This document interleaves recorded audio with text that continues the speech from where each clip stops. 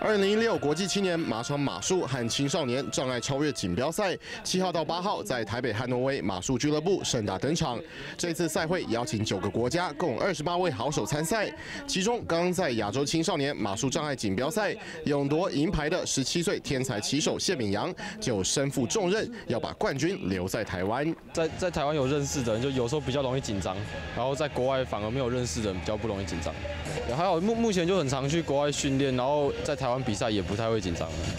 随着赛事迈入第二届，马术协会对于比赛的各个环节要求也越来越高，希望借由这类型的国际比赛，让马术这项运动向下扎根，培育出更多顶尖选手，扬名国际。我们马术已经到奥运等级了，有我们的国，我们的选手啊，第一次啊，呃，参加奥运了啊，我希望说未来我们有更多的选手可以参加奥运。